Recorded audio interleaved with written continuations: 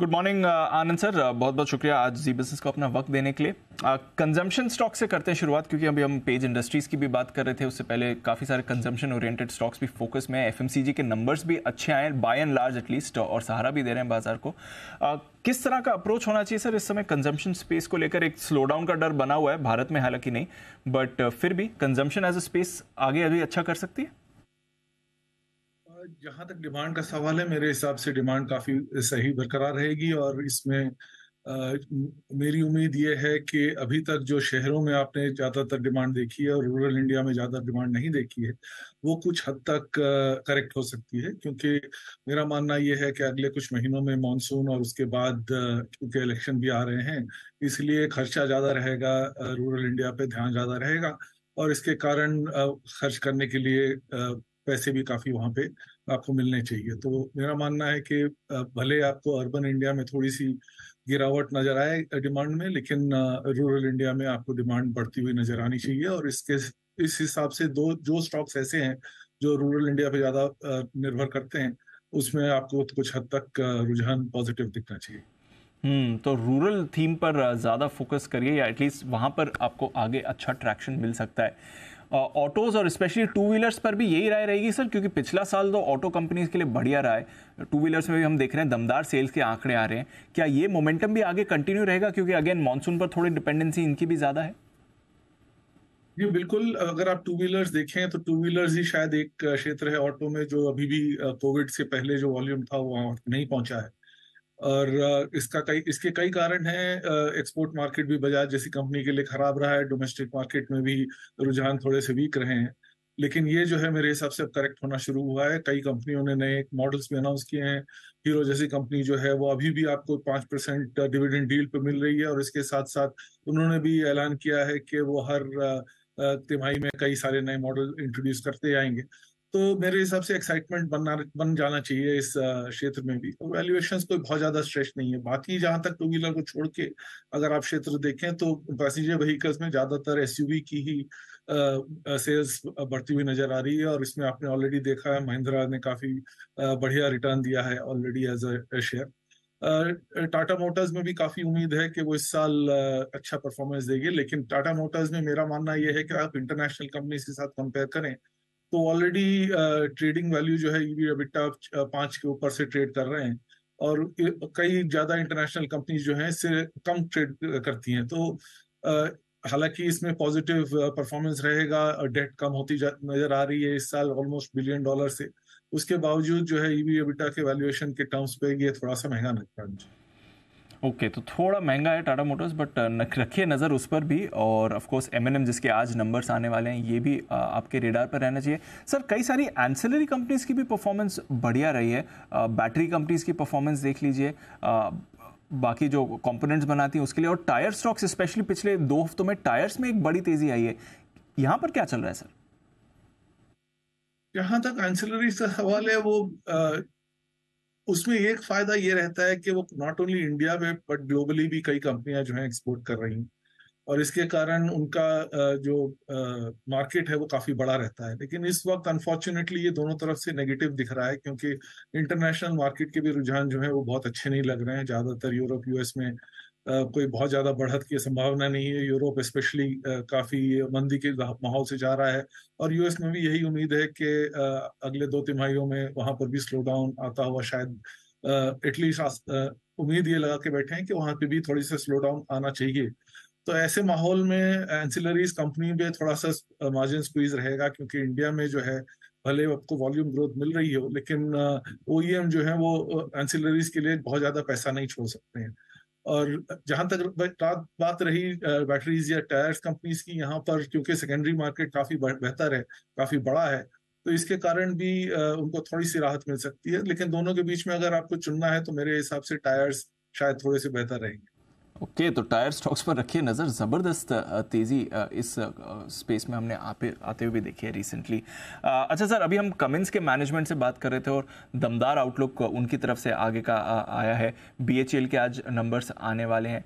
Cap goods और infra as a theme specially infra theme में तो ज़बरदस्त मोमेंटम बना हुआ है। सरकार की भी स्पेंडिंग काफ़ी हाई है। एफ़ आई ट्वेंटी फोर के लिए भी ये आउटलुक बरकरार रहेगा जिस तरह से इनकी ऑर्डर बुक बढ़िया ग्रोथ दिखा रही है एग्जीक्यूशन भी अच्छा ग्रो कर रहा है। क्योंकि इस क्षेत्र में ऑर्डर बुक आपको साफ़ नज़र आती है, इसलिए कहना आसान है कि अगले साल कम से कम सेल्स अगले साल के लिए कम से कम सेल्स जो है वो अच्छे ही रहने चाहिए।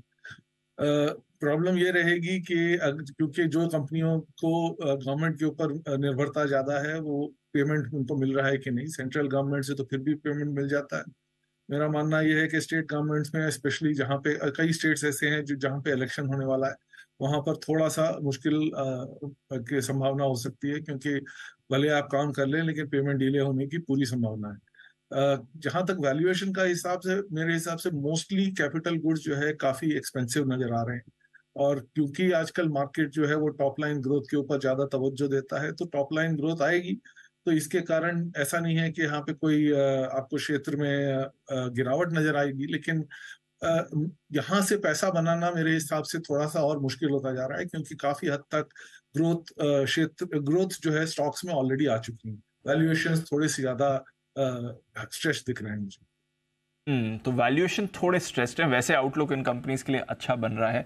आ, सर वैल्यूएशन की बात लगी तो बैंक्स में आपका क्या व्यू बन रहा है? क्योंकि कुछ आ, दो दिन पहले बैंक निफ्टी ऑलमोस्ट नए रिकॉर्ड पर हमें आते हुए दिखा था और बढ़िया रिवर्सल रहा है स्पेशली पीएसयू बैंक्स का वैल्यूएशन कैचअप भी अच्छा रहा है। अभी भी वो रूम दिख रहा है थोड़ा और वैल्यूएशन एक्सपेंशन का बैंक्स में? सो वैल्यूएशन एक्सपेंशन से ज़्यादा आप अर्निंग्स ग्रोथ पर अगर जो दें तो अर्निंग्स ग्रोथ काफ़ी अच्छी आ चुकी है बैंक्स में। और अभी तक कोई ऐसे आसार नज़र नहीं आ रहे हैं जिससे ये कहा जाए कि बैंकिंग में ग्रोथ कम आएगी। तो अगले अगेन 12 से 18 महीने तक मेरे हिसाब से बैंकिंग क्षेत्र में कम से कम अर्निंग्स की कोई प्रॉब्लम नज़र नहीं आती है। लेकिन अगर आपको प्राइवेट वर्सेस पब्लिक देखना है तो भले ही पब्लिक सेक्टर बैंक थोड़े चीप लग रहे हैं, लेकिन एसबीआई और शायद बैंक ऑफ़ बड़ौदा को छोड़ के ज़्यादातर बैंक में जो है मेरा ये मानना है कि मार्केट शेयर कोलैप्स होता रहेगा compare to private sector bank तो अगर आपको ऐसी कंपनियों में निवेश करना चाहिए जहाँ पर कासा डिपॉजिट जो है वो ग्रोथ होती रहे और वो ज़्यादातर प्राइवेट सेक्टर में होगी बड़ी या छोटी बात की पब्लिक सेक्टर में। तो पब्लिक सेक्टर का मार्केट शेयर कम होने के कारण अगर पब्लिक सेक्टर में निवेश करना है तो मेरे हिसाब से एसबीआई सबसे बेहतर बैंक नज़र आता है। बैंकिंग में भी बहुत मार्केट शेयर तेज है टेक्नोलॉजी भी बढ़िया है और वैल्यूएशन भी सबसे ज़्यादा फ्रंटलाइन बैंक में सबसे कम है। ओके okay, तो अभी भी पीएसयू बैंक की वैल्यूएशन कम है और अर्निंग्स बढ़िया है तो वहाँ पर भी और थोड़ा कैचअप आपको बनते हुए दिख रहा है।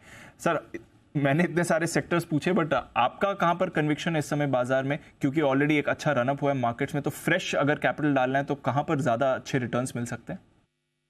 तो फ़िलहाल तो थोड़ा सा कॉशियसली करना चाहिए क्योंकि इस समय से इस लेवल से मार्केट के लिए बहुत ज़्यादा ऊपर जाना भी थोड़ा सा मुश्किल लगता है क्योंकि ग्लोबल सिचुएशन को देखते हुए बाकी कंट्रीज़ में जो है क्योंकि रुझान नेगेटिव रहने की संभावना पूरी तरह से बन रही है इंडिया में भी बहुत ज़्यादा तेज़ी करना मुश्किल रहेगा। वैल्यूएशन ऑलरेडी इंडिया के बाकी इमर्जिंग मार्केट्स के मुकाबले कोई बहुत सस्ते नहीं है।